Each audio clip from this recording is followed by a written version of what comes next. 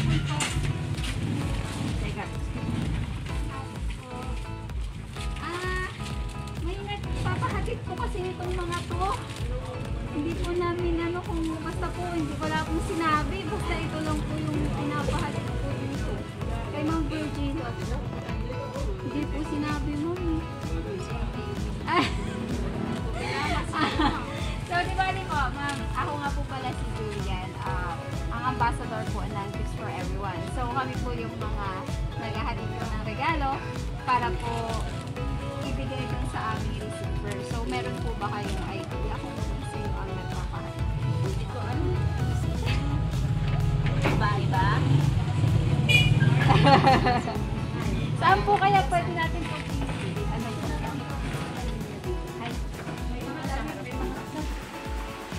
So magandang hapon mga kabayan. So nandito na po tayo sa bahay ni Ma'am Virgie po. So wala po siyang ka-idea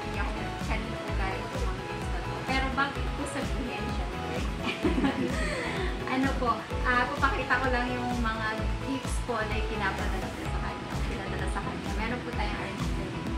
Happy birthday.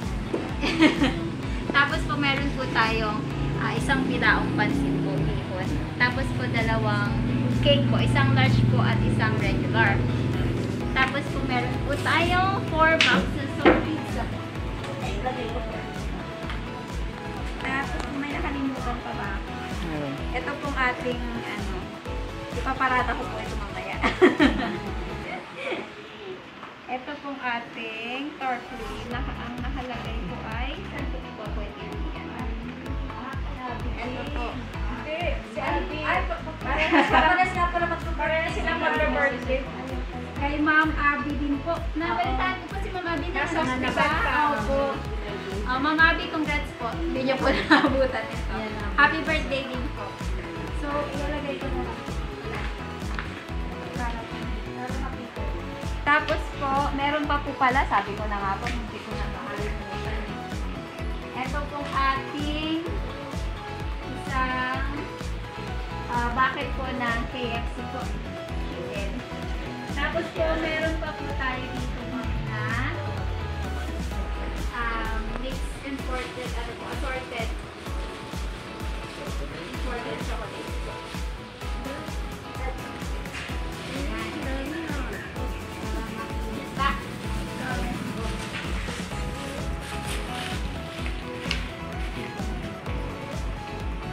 Tapos syempre po, yung pinaka-importante sa. Ito po, hindi po nabibili ng kahit na sino, hindi po mapapalitan ng kahit ano. So, May idea na po ba kayo? Sige po. Basahin po muna natin. Ready ka na, nanay. Sige po. Thank you for the laughter, the good times we share.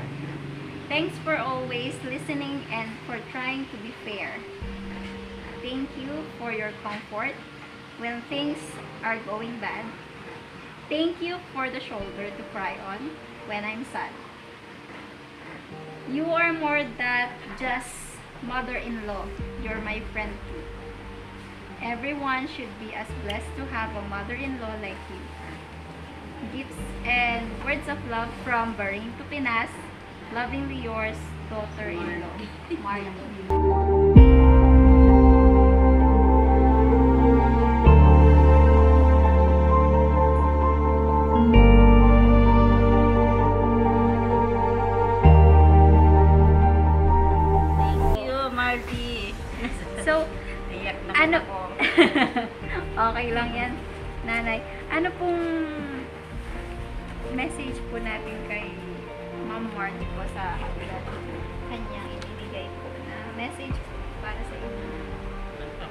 Nagpapasalamat ako, Marty, kahit na malayo kayo sa isa't isa ng anak ko.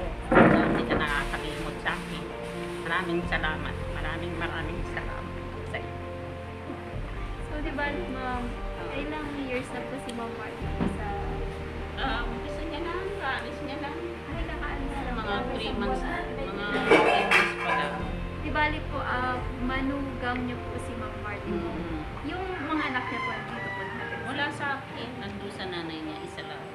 Anak niya na nung Ah, Tapos po yung anak niyo po, magkasa... Nasa Dubai. Ah, di ba magkahiwalay lang po sila ng work? Oo. Ah, okay. Di bali, ilang taon na po ba si Ma'am Marty po? No, ma'am, baka nangalay ka na dyan. Ako na kayo. May, magkaedad ba kayo ni Marty? Sige lang po. Ilang taon ni Marty? 38 lang siya. 36 lang. Oh, 36 lang ata siya. Bata pa siya. Nagkakanak siya. Parang 33 lang. Bata pa si Bata pa si Ay, Marty. bata. Tapos, ma- ay, nanay, ilang taon na po kayo? 68. Ay, 68 po.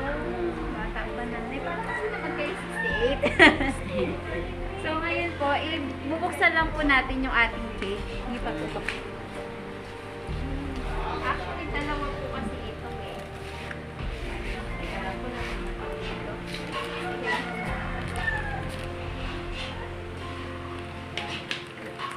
Ay, paborito ko natin ng itong si Nanay oh. Virgie at syempre si Ma'am Abigail po kahit wala po siya. One, two, three. Happy birthday, Nanay!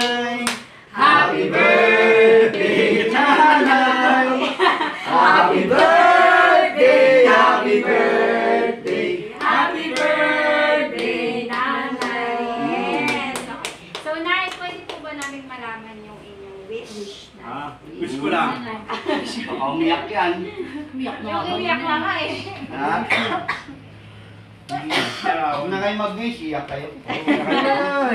Mutik na nga po kanina. Hindi maganda yung nagwi-wish. Ang wish ko lang. Siguro ang wish ko lang, sana sa isang loob, lahat magkasama-sama kami sa tulad ngayon, wala. Wala na eh. Ang Ang yan eh. Marami ang wala. Gusto ko sana sa susunod pangyari. Kahit sino naman. Magkasundo-sundo. Ah. Wala yung lahat ng mga sama na kasi sa isang yung isa. mga- Yun lamang. Hmm. Marty, maraming salamat. Sobrang mo akong pinasaya. Yeah. So, pa-video naman si Sir dito. Nag-enjoy na po si Sir. Oo, ko ito. Ay, lapang. So, ah, na eh. Ma'am Marty, ah, maraming salamat po sa for trusting gifts for everyone po to deliver your ah, gifts po tsaka yung ah, words of love po na ipinarating po natin kay Ma'am Marty. Tapos po yung ating accomplice po si Ma'am May. Ang mo ito. eh. Ma'am, maraming salamat po Thank you din. Ah, si Ma'am, ano po yung ating accomplice for today. Ah, siya po yung nagturo sa amin kung paano po makarating dito. So, Ma'am, maraming salamat po. At sa inyo pong lahat, sa mainit na pagtanggap niyo po sa amin. Kahit na si Ma'am Virgie po is walang ka-idea dahil nung idea. hindi ko pa po sinabi kung sino yung nagpadala ng mga gift